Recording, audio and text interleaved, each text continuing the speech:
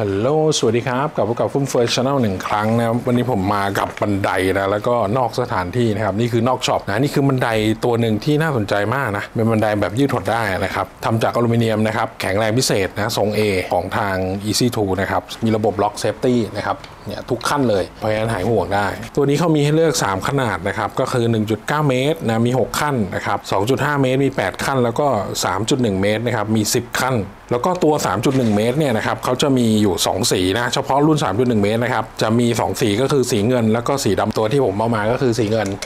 ตัวนี้ข้อดีของมันก็คือ1นะมันยืดหดนะมันเก็บได้นะเหลือเล็กแค่นี้เองนะครับจากบันได 3 เมตรนะแล้วก็นอกจากมันกางมาทรง A แล้วเนี่ยมันยังกางมาทรง L ได้ด้วยนะครับเดี๋ยวเราค่อยมาดูแล้วกันนะแต่ตอนนี้ให้ดูก่อนว่า อันนี้ผมแกะจากกล่องเนี่ยก็จะมีของประมาณนี้นะครับเดี๋ยวเราไปดูกันอะแกะมาจากกล่องนะครับก็จะเจอนะของที่เขาให้มานะครับก็คือเป็นล้อนะครับมี 2 อันนะแล้วก็มี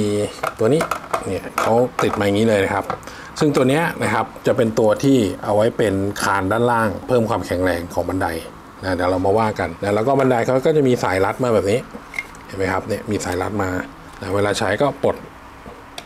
เนี่ยปลดปุ๊บแบบนี้นะครับ นี่แกะพร้อมกันเลยนะเนี่ย ตัววัสดุนะครับส่วนใหญ่ตรงที่เป็นสีเงินเงินเนี่ยนะครับก็จะทำจากอลูมิเนียมรหัส EN 1 3 1นะครับมีความแข็งแรงนะแล้วดูความหนานะครับมิลกว่าๆเลยนะมิล2มิลเลยนะครับหนามากนะไม่ใช่แบบอลูมิเนียมบางๆนะเพราะฉะนั้นตัวนี้จะมีน้ำหนักนิดนึงนะครับแต่ว่าจะได้เรื่องของความแข็งแรง ตัวเปล่าๆเนี่ยนะครับเนี่ยอยู่ที่ประมาณ 21 โลน้ำหนักเขานะครับแต่ว่าอย่าลืมนะมันกลางได้ 3 เมตรนะครับแล้วก็มันเก็บได้นะครับเหลือสูงแค่นี้เอง แล้วก็อันนี้ให้ดูคร่าวๆก่อน แต่ละขั้นเนี่ยเขาก็จะมีระบบล็อกเนี่ยเขาก็จะบอกไว้ว่า ตรงไหนล็อกตรงไหนไม่ล็อกนะครับ ให้เราสังเกตที่ตัวมันนะครับเนี่ยเห็นไหมครับเดี๋ยวพอมันยืดปุ๊บเวลามันล็อกเนี่ยตัวนี้มันจะดันเข้าไปชิดกับไอตัวพลาสติกสีดำๆตัวนี้นะทำให้เราสังเกตได้ว่าเฮ้ยบันไดคันนี้มันล็อกแล้วหรือยังนะครับเนี่ยเขาบอกเอาไว้ เป็นระบบ safety อย่างหนึ่งนี่ให้ดูคร่าวนะ แล้วก็ตรงด้านบนของบันไดนะครับจะเป็นโลหะเลยนะ แข็งแรงมากนะครับหนาตึบเลยนไหมนี่หนาตึบเลยนะครับทั้งสองข้างนะครับแบบนี้อ่าให้ดูใกล้ๆก่อน อะนี่ตัวนี้นะครับจะเป็นตัวคานที่เอาไว้รองกับพื้นด้านล่างแต่ข้างล่างก็จะเป็นเหมือนเป็นยางแข็งๆยางนะไม่ใช่พลาสติกนะแล้วก็จะมีน็อตมาให้ 2 ชุดแบบนี้อะนี่เวลาที่บันไดมันล็อกเห็นไหมครับ มันจะเข้ามาชิดกับตัวนี้เลย เนี่ยถ้าไม่ถ้าไม่ล็อกมันก็จะเป็นอย่างนี้เนี่ยแต่ถ้าล็อกมันจะเป็นอย่างนี้เห็นไหมครับทั้งสองข้าง ซึ่งมันจะล็อกอัตโนมัติเวลาเรายืดนะ เดี๋ยวผมจะลองกางดูนะครับ วิธีกางง่ายมากเลย ดึงอย่างเดียวเนี่ยดึงขึ้นมานะครับแล้วมันจะล็อกเองทุกชั้น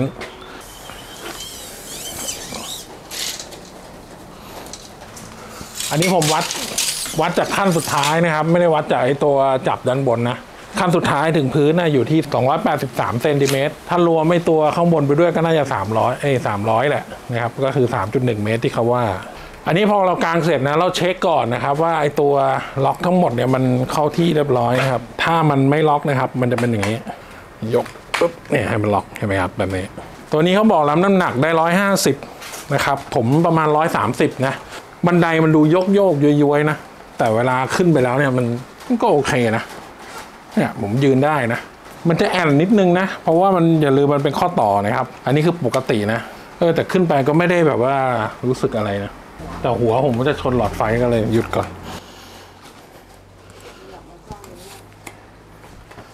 อ่าโอเคเดี๋ยวผมจะใส่ตัวฐานก่อนนะครับ ฐานที่เขาให้มานะวิธีการก็คือเราจะดึงตัวนี้ ดึงตัวนี้เพื่อให้ตัวขาเนี่ยมันกลางราบนะครับ ก็ดึงไปนะเสร็จแล้วก็กลางฟึบ อ่าอย่างเงี้ย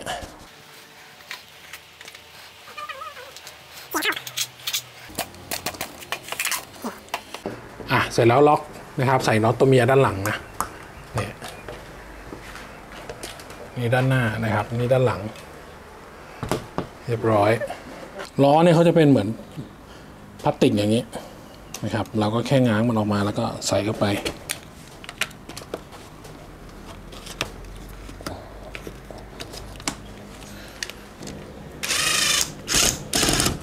เรียบร้อยเนี่ยพอเราใส่ล้อแล้วนะครับ เวลากลางเนี่ยล้อมันจะไม่ติดพื้นอยู่แล้ว เพราะฉะนั้นเวลาเราจะใช้ล้อก็คือขนย้ายนะครับ เอียงมาเนี่ยแล้วก็ลากได้เห็นไหมจาก 20 โลก็เหลือสัก 10 โลนะในการประคองแค่นั้นเองนะใช้ง่ายดีนะครับ อะทีนี้ไอตัวตัวบานพับเนี่ยนะครับตัวนี้มันจะมีเอาไว้สำหรับกลางทรง A นะเวลาเราไม่กลางทรง A เราก็ปลดออกนะเพื่อกางเป็นตัว L นะแต่ถ้ากลางทรง A เราก็ล็อกอย่างนี้นะครับ แล้วก็ตัวนี้จะเป็นตัวเห็นไหมครับ เป็นตัวล็อกตัวรูนี้ วิธีการก็คือใส่เข้าไปแล้วก็ล็อกแค่นี้ แล้วถ้าเราจะกางทรง L เราก็ปลดนะครับปลดออกแค่นี้ ทีนี้พอเรากางทรง A แล้วเนี่ยนะครับเวลาเราจะเก็บนะให้มันแบบเป็นพับเรียบเนี่ยนะครับ เราต้องมาดึงตัวนี้นะครับเนี่ยดึงอย่างนี้ เสร็จแล้วก็พับเข้าไป นี่เห็นไหมครับ เป็นเหมือนตัว safety เนี่ยด้านบนนะครับเขาจะเป็นตัวโยกแบบนี้ เพื่อล็อกทั้งทรง A แล้วก็ทรง L นะครับเนี่ยตัวนี้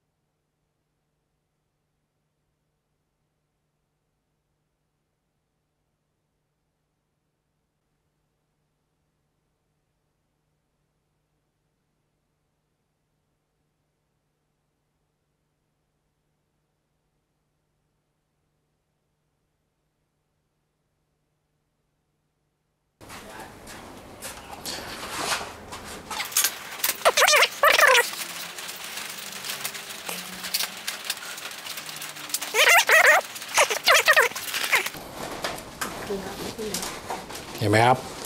เนี่ยพอพื้นมันต่างระดับเนี่ยมันสามารถกางบนพื้นต่างระดับได้นะทำงานข้างบนได้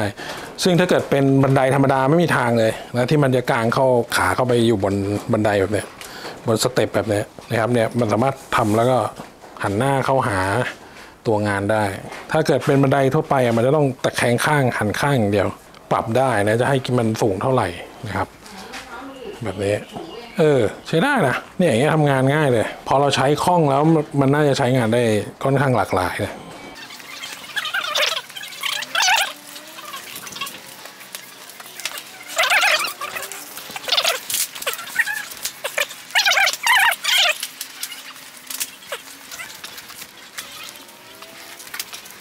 อะนี่กลางสุดนะครับ 6 เมตร นี่ลองกลางสุดนะ จริง ๆ มันไม่ต้องใช้ถึงนะครับ อะ นี่น้ำหนักตัวร้อยสิบนะครับ ปีนให้ดูนี่เห็นไหมครับ นี่พื้นเอียงเลยนะ พื้นเอียงด้วยนะไอตัวนี้ก็แข็งแรงอยู่นะครับ เนี่ยสบายร้อยสิบโล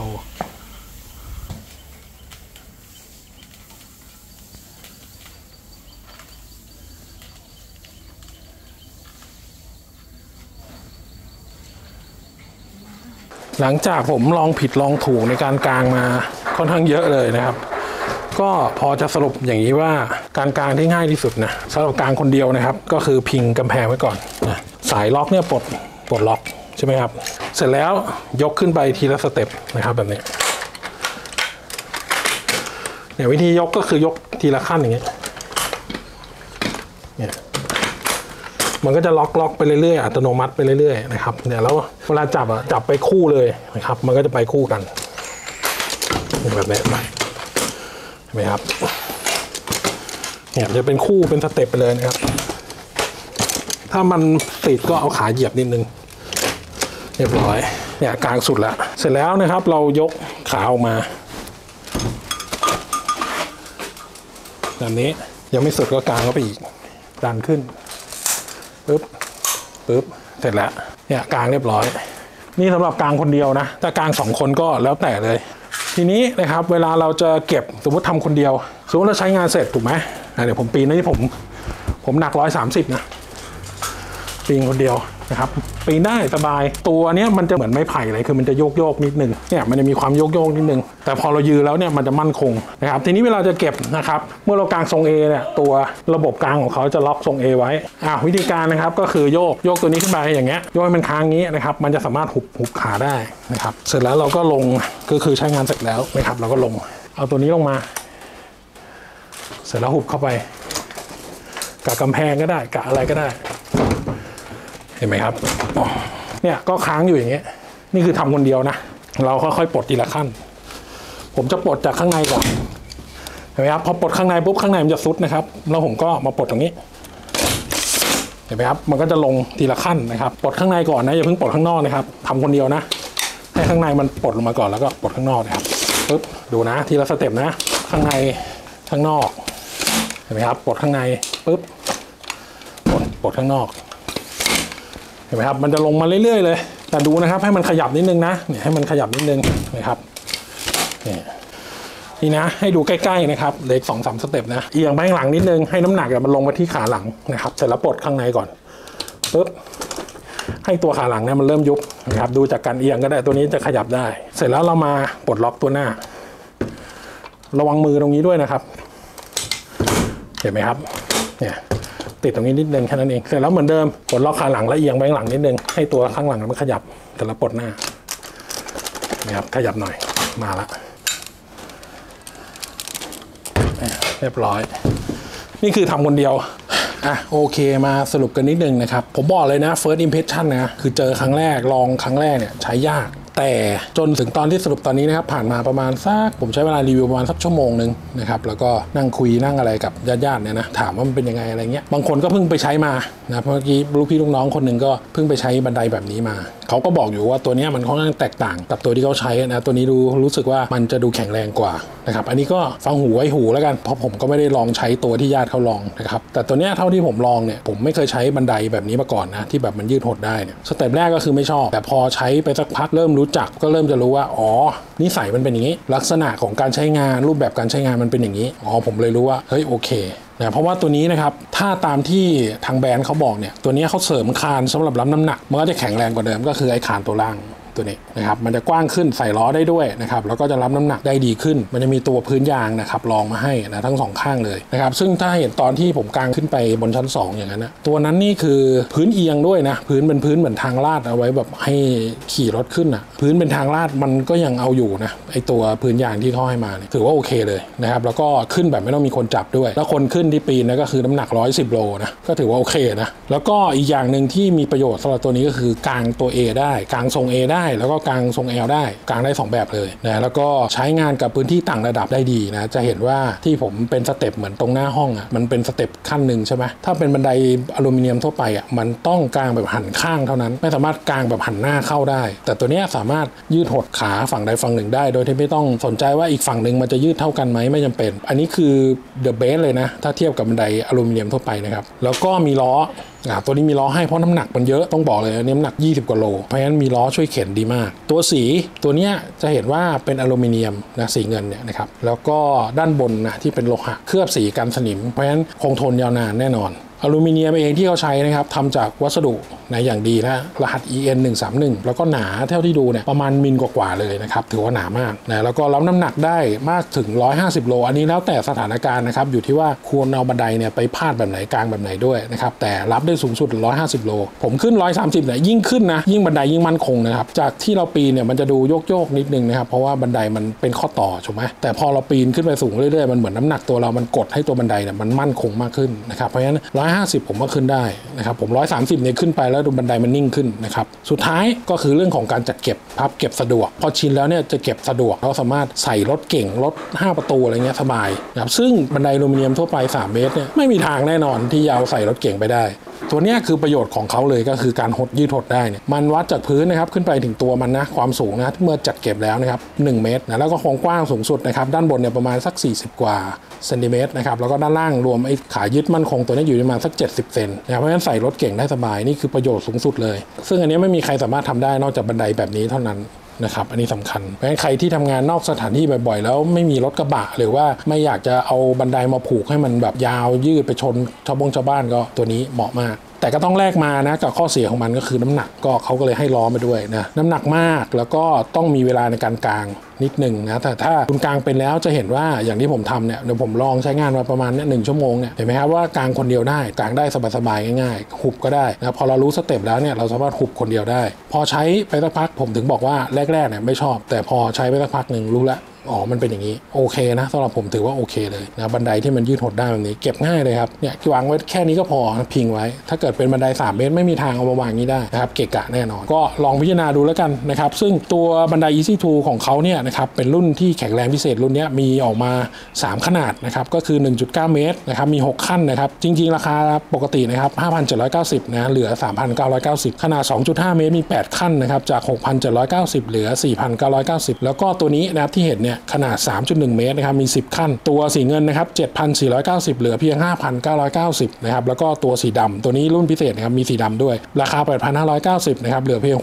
6,290 บาท ผมถือว่าราคาไม่แพงนะสมมติว่าถ้าเกิดคุณไม่ได้ใช้สูงมากเนี่ยคุณซื้อตัว 1.9 เมตรก็พอนะครับเพราะว่าเท่าที่ผมไปดูตามห้างตามอะไรทั่วไปราคาของบันไดพวกนี้ราคาจะประมาณนี้อยู่แล้วนะครับเพราะฉะนั้นก็ตัวนี้เขาลดราคาให้อีกนะครับลองไปดูแล้วกันนะถือว่าดีมาก ส่วนลิงก์นะครับเดี๋ยวผมจะวางไว้ที่ใต้คลิปนี้นะครับลองเข้าไปหาซื้อดูได้ นะครับ ก็ใครสนใจนะลองดูเปรียบเทียบดูข้อดีข้อเสียนะครับแล้วก็ลองดูว่าเฮ้ยเราเหมาะกับบันไดตัวนี้ไหมอันนี้ผมไม่ได้เชียร์ว่าทุกคนจะต้องซื้อนะครับเพราะว่าผมบ้านผมเองก็มีบันไดอลูมิเนียมนะครับมีตัวยาวตัวสั้นมีตัวอะไรเงี้ยนะครับแต่ตัวเนี้ยเพิ่งเพิ่งจะได้มาแล้วรู้สึกว่าเออถ้าใช้นอกสถานที่หรือว่าถ้าต้องใช้แบบยาวๆสูงๆเนี่ยแล้วก็ต้องขนย้ายเนี่ยผมว่าตัวนี้เหมาะกว่านะครับเหมาะมากๆเลย ใครสนใจก็ลองพิจารณาดูแล้วกันนะครับสำหรับวันนี้ฟุตฟอร์ชั่นของเราไปก่อนนะครับถ้าชอบกดไลค์นะครับถูกใจฝากกด subscribe ด้วยนะครับไปนะครับ สวัสดีครับ bye bye bye bye แจ่มนะ ผมชอบนะ แรกๆไม่ชอบเลยนะบอกแรก ๆ ใช้ยาก แต่พอใช้สักพักเออเฮ้ยผมรู้ละใช้ง่ายนะครับ ไปนะครับบ๊ายบาย